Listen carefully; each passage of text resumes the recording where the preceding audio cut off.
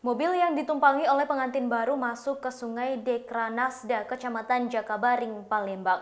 Mereka adalah Ibradi Oscar, 58 tahun, dan sang istri Atik Fitriani, 48 tahun, yang baru menikah satu bulan. Akibat insiden itu, satu orang dinyatakan meninggal dunia. Korban meninggal adalah sang istri Atik Fitriani, sedangkan sang suami berhasil keluar dan diselamatkan oleh warga. Mereka adalah warga perumahan Opi Lorong Anggrek 1, Kecamatan Jakabaring, Palembang. Kecelakaan itu terjadi lantaran sang istri saat itu sedang belajar mengemudi mobil. Hal tersebut disampaikan oleh Pawas Polsek Seberang Ulu 1 Palembang, Ibtu Usman, pada Selasa 16 Februari 2021. Diduga Ati tak bisa menguasai mobil hingga masuk ke dalam sungai dan tenggelam.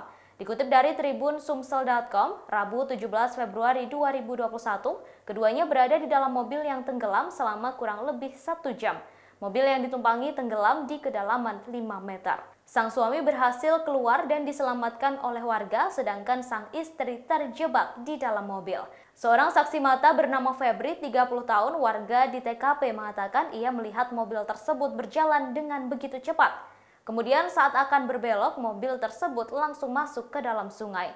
Untuk kronologi lengkap kejadian ini masih belum diketahui.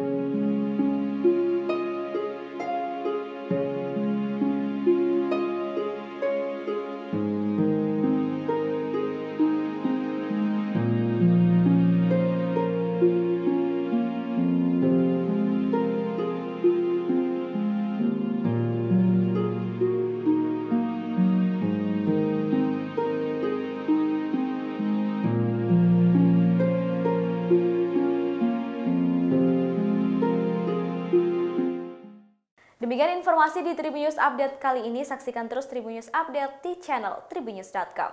Terima kasih sudah nonton. Jangan lupa like, subscribe, dan share ya.